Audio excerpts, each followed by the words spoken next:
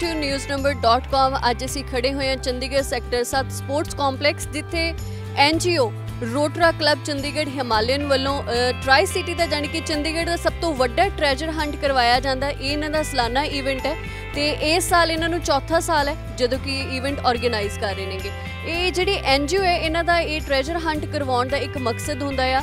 ਇਸ ਇਵੈਂਟ ਤੋਂ ਜੋ ਵੀ ਉਹਨਾਂ ਦਾ ਫੰਡ ਇਕੱਠਾ ਹੁੰਦਾ ਹੈ, ਉਹ ਇੱਕ ਚੈਰਿਟੀ ਦੇ ਲਈ ਉਹਨਾਂ ਨੂੰ ਵਰਤਦੇ ਨੇ, ਜਾਣੀ ਕਿ ਗੁੱਡ ਕਾਜ਼ ਦੇ ਲਈ ਇਹ ਇਵੈਂਟ ਆਰਗੇਨਾਈਜ਼ ਕਰਵਾਇਆ ਜਾਂਦਾ ਪਿਛਲੇ ਸਾਲਾਂ ਦੀ ਗੱਲ ਕਰੀਏ ਤਾਂ ਪਿਛਲੇ ਸਾਲ ਇਸ ਇਵੈਂਟ ਦੇ ਵਿੱਚ ਚੰਦ, ਪੂਰੇ ਚੰਡੀਗੜ੍ਹ ਦੇ ਵਿੱਚੋਂ 150 ਟੀਮਾਂ ਹਾਜ਼ਰ ਹੋਈਆਂ ਸਨ ਇਸ ਇਵੈਂਟ ਦਾ ਹਿੱਸਾ ਬਣਨ ਦੇ ਲਈ ਅਤੇ ਇਸ ਸਾਲ 130 ਟੀਮਾਂ ਇਸ ਵੇਲੇ ਸਪੋਰਟਸ ਕੰਪਲੈਕਸ ਦੇ ਵਿੱਚ ਪਹੁੰਚ ਚੁੱਕੀਆਂ ਨੇ ਇਸ ਇਵੈਂਟ ਦਾ ਹਿੱਸਾ ਬਣਨ ਦੇ ਲਈ ਅਤੇ ਇਸ ਇਵੈਂਟ ਦੇ ਜਿਹੜੇ ਪ੍ਰਾਈਜ਼ਸ ਵੀ ਹੁੰਦੇ ਨੇ, ਉਹਨਾਂ ਦੀ ਜਿਹੜੀ ਮੋਸਟ ਆਫ ਅਮਾਉਂਟ ਉਹ ਵੀ ਡੋਨੇਸ਼ਨ ਦੇ ਲਈ ਹੀ ਜਾਂਦੀ ਹੈ। ਸੋ ਅੱਜ ਅਸੀਂ ਪਹੁੰਚੇ ਹਾਂ ਨਿਊਜ਼ ਨੰਬਰ ਦੀ ਪੂਰੀ ਟੀਮ ਲੈ ਕੇ ਇਸ ਇਵੈਂਟ ਨੂੰ ਕਵਰ ਕਰਨ ਦੇ ਲਈ। ਸੋ ਤੁਹਾਨੂੰ ਵੀ ਦਿਖਾਉਂਦੇ ਹਾਂ ਇਥੋਂ ਦਾ ਕੀ ਮਾਹੌਲ। ਹੈ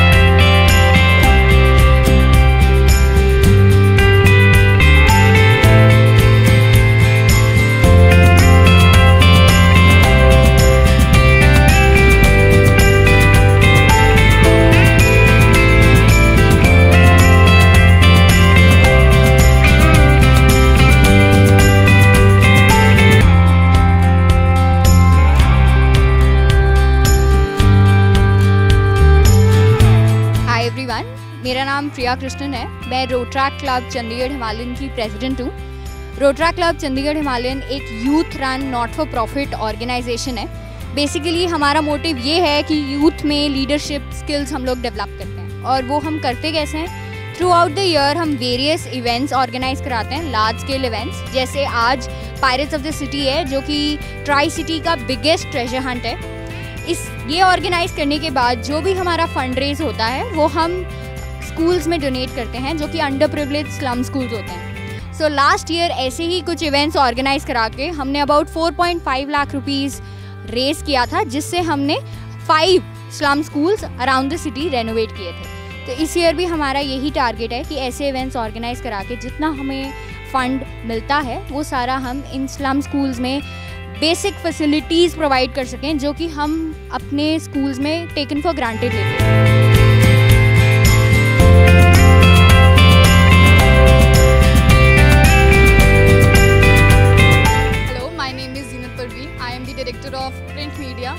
That is popularly called as Front Page in Rotrack Himalayan.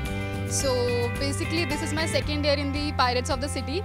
Last तीन साल से ये इवेंट ऑर्गेनाइज कर रहे हैं हम धीरे धीरे जैसे हर अ, साल ये इवेंट आता है वैसे वैसे रिस्पॉन्स भी हमें ज़्यादा आता है कॉलेजेस से स्टूडेंट्स को ऐसा नहीं है कि सिर्फ़ वो पार्टिसिपेट कर रहे हैं एडवेंचर के लिए बट उनको ये भी लगता है कि हाँ हम लोग एक गुड कॉज के लिए कर रहे हैं तो उनके लिए ओवरऑल एक एक्सपीरियंस अच्छा हो जाता है कि यहाँ से वहाँ वो क्लूज़ के लिए भागते हैं लास्ट टाइम मुझे क्लू स्पॉट पे दिया था तो वहाँ पर कुछ पार्टिसिपेंट्स आते थे।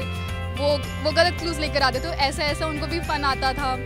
सो so, येस हमारी फोर्थ सीज़न है एंड इस साल भी हमें काफ़ी अच्छा रिस्पांस मिला है कॉलेज से। एंड नॉट ओनली डैट कि हमें सिर्फ़ कॉलेज से मिला है हमें और भी जैसे थोड़े अडल्ट सिटीजन्स भी आए हैं यहाँ पर पार्टिसिपेट करने के लिए तो उनको भी एक अच्छा एक्सपीरियंस के लिए वो भी आए हैं यहाँ पर।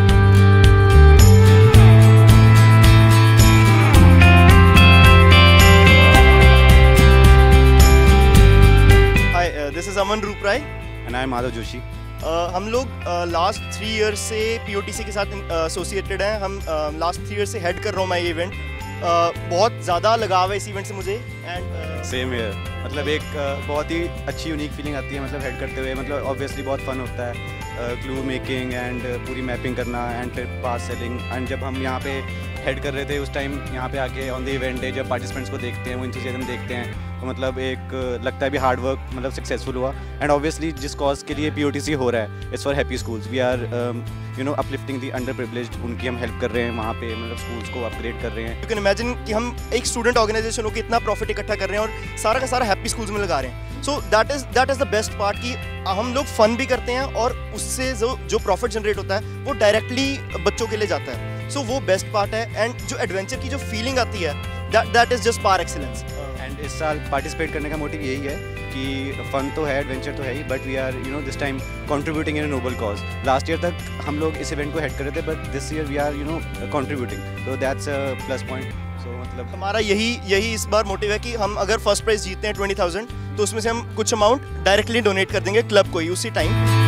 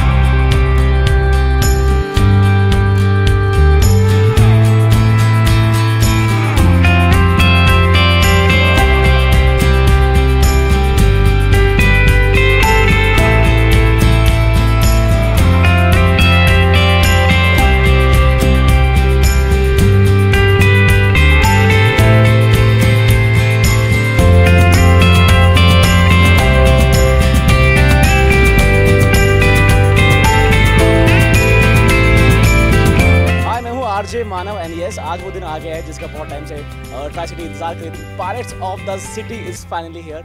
And अभी यहाँ पे जितनी भी टीम्स थी, कम से कम 130 के अराउंड टीम्स थी, उससे ज़्यादा ही टीम्स थी, जो कि अब गो हो चुकी, निकल चुके यहाँ से। एंड आठ से नौ क्लूज होंगे हर टीम के पास जो उन्हें सॉल्व करने होंगे। ट्राई सिटी की बहुत सारी मशहूर जगहों पर पॉश जगहों पर वो क्लूज मिलेंगे उनको। एक के बाद एक क्लू सॉल्व करते करते, तीन बजे पहले यहाँ पर जो टीम आ जाएगी, वो बनेगी इस पूरे ट्रेजर हंट की विजेता।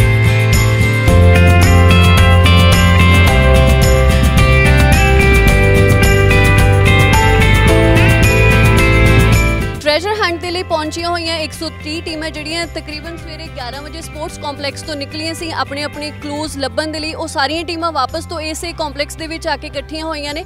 ਸੋ ਮੇਰੇ ਨਾਲ ਇੱਥੇ ਕੁਝ ਪਾਰਟਿਸਪੈਂਟਸ ਬੈਠੇ ਹੋਏ ਨੇ, ਜਿਨ੍ਹਾਂ ਨੇ ਇਸ ਇਵੈਂਟ ਦਾ ਹਿੱਸਾ ਰਹੇ ਨੇ ਪਾਰਟਿਸਿਪੇਟ ਕੀਤਾ ਸੀ। ਵੇਖਦੇ ਹਾਂ ਉਹਨਾਂ ਦਾ ਐਕਸਪੀਰੀਅੰਸ ਕਿਦਾਂ ਦਾ ਰਿਹਾ ਤੇ ਕਿਹੜੇ ਕਿਹੜੇ ਕਲੂਜ਼ ਉਹਨਾਂ ਨੂੰ ਮਿਲੇ, ਔਖੇ ਸੀ ਜਾਂ ਸੌਖੇ ਸੀ? ਪਹਿਲੇ ਮਤਲਬ ਪਹਿਲਾ ਵਾਲਾ ਕਲੂ ਸਭ ਤੋਂ ਔਖਾ ਲੱਗਿਆ ਸੀ, ਉਸ ਤੋਂ ਬਾਅਦ ਮਤਲਬ ਈਜ਼ੀ ਸੀਗਾ, ਵਿੱਚ ਫਿਰ ਆਖਰੀ ਤੇ ਡਿਫਿਕਲਟ ਆ ਗਏ ਸੀ।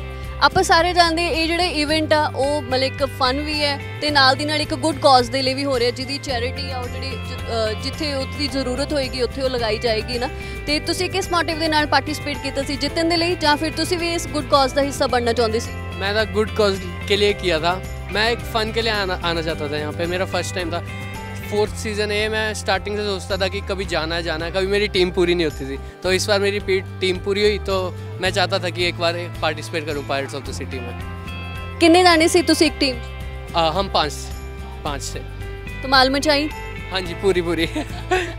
ਬਹੁਤ ਮਜ਼ਾ ਆਇਆ। ਸਾਡੇ ਕੋਲ ਇੱਥੇ ਕੁਝ ਹੋਰ ਕੁੜੀਆਂ ਨੇ ਜੋ ਇਸ ਟ੍ਰੈਜਰ ਹੰਟ ਦਾ ਹਿੱਸਾ ਰਹੀਆਂ ਨੇ ਉਹਨਾਂ ਨੇ ਪਾਰਟਿਸਿਪੇਟ ਕੀਤਾ। ਸੋ ਉਹਨਾਂ ਦੀ ਪਹਿਲੀ ਵਾਰ ਨਹੀਂ ਸੀ ਇਸ ਤੋਂ ਪਹਿਲਾਂ ਵੀ ਉਹ ਇਸ ਹੰਟ ਦਾ ਹਿੱਸਾ ਰਹਿ ਚੁੱਕੇ ਨੇ। ਸੋ ਵੇਖਦੇ ਕਿ ਇਸ ਵਾਰ ਦਾ ਉਹਨਾਂ ਦਾ ਐਕਸਪੀਰੀਅੰਸ ਕਿਦਾਂ ਦਾ ਰਿਹਾ। ਹੈਲੋ ਹਾਈ ਕਿਦਾਂ ਦਾ ਰਿਹਾ ਇਸ ਵਾਰ ਦਾ ਐਕਸਪੀਰੀਅੰਸ ਬਹੁਤ ਅੱਛਾ। We are the winners this time ਯਾ ਹੋ ਆਈ ਗੈਸ ਯਾ ਪਹਿਲਾਂ ਹੀ ਡਿਸਕਲੋਜ਼ ਕਰ ਦਿੱਤਾ ਸੀ ਹਲੇ ਇੱਥੇ ਸੈਰੇਮਨੀ ਹੋਣੀ ਹੈ ਪ੍ਰਾਈਜ਼ ਡਿਸਟ੍ਰਿਬਿਊਸ਼ਨ ਸਾਰੀ।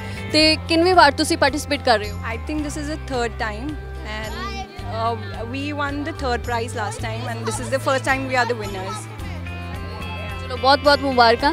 ਐਂਡ ਜੋ ਇਹ ਇਵੈਂਟ ਹੋ ਰਿਹਾ ਇਸ ਐਨਜੀਓ ਵੱਲੋਂ ਕਰਵਾਇਆ ਜਾ ਰਿਹਾ ਹੈ ਨਾ ਤੇ ਉਹ ਇੱਕ ਗੁੱਡ ਕਾਜ਼ ਦੇ ਲਈ ਹੋ ਰਿਹਾ ਹੈ ਕਿ ਉਹਦੀ ਜਿਹੜੀ ਚੈਰਿਟੀ ਹੈ ਉਹ ਜਿੱਥੇ ਉਹਨਾਂ ਦੀ ਜ਼ਰੂਰਤ ਹੋਏਗੀ ਉੱਥੇ ਜਾ ਕੇ ਉਹ ਸਪੈਂਡ ਕਰਨਗੇ ਹੈ ਨਾ ਤੇ ਮਤਲਬ ਤੁਹਾਨੂੰ ਕੀ ਲੱਗਦਾ ਕਿ ਇਸ ਤਰ੍ਹਾਂ ਦੇ ਇਵੈਂਟਸ ਹੋਣੇ ਚਾਹੀਦੇ ਨੇ ਜਾਂ ਫਿਰ ਇਹਨਾਂ ਵੱਲੋਂ ਜੋ ਐਫਰਟਸ ਕੀਤੇ ਜਾ ਰਹੇ ਨੇ ਉਹਦੇ ਬਾਰੇ ਕੁਝ ਕਹਿਣਾ ਚਾਹੋਗੇ? ਡੈਫੀਨਿਟਲੀ ਕਿਸੇ ਵੀ ਗੁੱਡ ਕਾਜ਼ ਕੇ ਲਈ ਕੁਝ ਹੋ ਬਹੁਤ ਅੱਛਾ ਹੈ। ਐਂਡ ਸਪੈਸ਼ਲੀ ਜਬ ਯੂਥ ਪਾਰਟਿਸਿਪੇਟ ਕਰਤਾ ਹੈ ਤਾਂ ਇਤਨੀ ਪਾਰਟਿਸਿਪੇਸ਼ਨ ਆਤੀ ਹੈ। And I think this is a really good thing ਮੇਰੇ ਨਾਲ ਕੁਝ ਹੋਰ ਪਾਰਟਿਸਪੈਂਟਸ ਬੈਠੇ ਹੋਏ ਨੇ, ਇਹਨਾਂ ਦੇ ਆਪਾਂ ਵੈਸੇ ਇਹਨਾਂ ਦੇ ਵਿਊਜ਼ ਜਾਣਨ ਦੀ ਕੋਸ਼ਿਸ਼ ਕਰਦੇ ਹਾਂ ਕਿ ਇਦਾਂ ਦੇ ਇਵੈਂਟ ਜਿਹੜੇ ਆਰਗੇਨਾਈਜ਼ ਕੀਤੇ ਜਾਂਦੇ ਨੇ ਖਾਸ ਕਰ ਅੱਜ ਜਿੰਨੇ ਵੀ ਜਾਣੇ ਇੱਥੇ ਪਾਰਟਿਸਪੇਟ ਕਰ ਰਹੇ ਨੇ ਮੋਸਟਲੀ ਮੋਸਟਲੀ 90% ਇੱਥੇ ਯੂਥ ਸਾਡੇ ਕੋਲ ਬੈਠੀ ਹੋਈ ਹੈ ਨਾ ਤੇ ਇਹ ਜਿਹੜੀ ਪੂਰੀ ਐਨਜੀਓ ਆ ਇਹਨਾਂ ਦੇ ਵੱਲੋਂ ਜੋ ਇਵੈਂਟ ਆਰਗੇਨਾਈਜ਼ ਕੀਤਾ ਜਾ ਰਿਹਾ ਵਾ ਚੈਰਿਟੀ ਇਕੱਠੀ ਕਰਨ ਦੇ ਲਈ ਇਦਾਂ ਦੇ ਇਵੈਂਟਸ ਹੋਰ ਹੋਣੇ ਚਾਹੀਦੇ ਨੇ। ਬਿਲਕੁਲ ਬਿਲਕੁਲ ਹੋਣੇ ਚਾਹੀਦੇ ਆ। ਐਟਲੀਸਟ ਇਹ ਇੱਕ ਜ਼ਰੀਆ ਹੈ ਕਿ ਚਲੋ ਇੱਕ ਦੋ ਚੀਜ਼ਾਂ ਹੋ ਰਹੀਆਂ ਨੇ। ਇੱਕ ਬੰਦੇ ਜਿਹੜੇ ਯੂਥ ਆ ਆਪਣੇ ਉਹਨਾਂ ਦਾ ਨਾਲ ਦੇ ਨਾਲ ਫਨ ਵੀ ਹੋ ਰਿਹਾ ਤੇ ਇੱਕ ਪਾਸੇ ਇੱਕ ਹੈਲਪ ਵੀ ਹੋ ਰਹੀ ਹੈ ਕਿਸੇ ਹੈਲਪਫੁਲ ਬੰਦੇ ਦੀ। ਸੋ ਐਦਾਂ ਦੀ ਵਧੀਆ ਐਦਾਂ ਦੀ ਇਵੈਂਟਸ ਆਰਗੇਨਾਈਜ਼ ਹੁੰਦੇ ਰਹੇ ਦੋਨਾਂ ਨੂੰ ਫਾਇਦਾ ਰਹਿੰਦਾ ਐਦਾਂ ਦਾ। How was your experience that was awesome So guys, team number 46.